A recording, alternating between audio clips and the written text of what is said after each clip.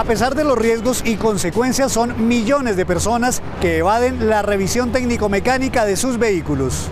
La evasión llega al 54% en todo el país, es decir, que en nuestras calles hay más de 5 millones y medio de automotores circulando sin la revisión técnico-mecánica al día. La revisión vale aproximadamente 115 mil pesos para motos y unos 260 mil para vehículos familiares. Aun cuando no es muy costosa, la evaden todo tipo de vehículos. Lo más preocupante es que el 75% de los evasores son motociclistas, es decir, hay 4 millones y medio de motos circulando sin esa exigencia. Y justamente son los motociclistas los más involucrados en accidentes de tránsito. Andar sin revisión técnico-mecánica lo expone a que le inmovilicen el vehículo, le impongan una multa, a pagar costos de los patios de tránsito y a tener que hacer de todas formas la revisión que estaba evadiendo.